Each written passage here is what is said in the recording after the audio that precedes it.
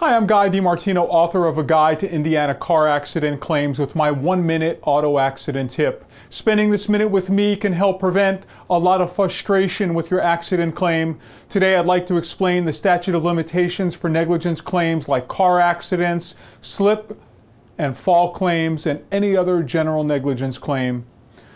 The limitations period is two years, so in order to be safe, you have to settle your claim or file a lawsuit within two years.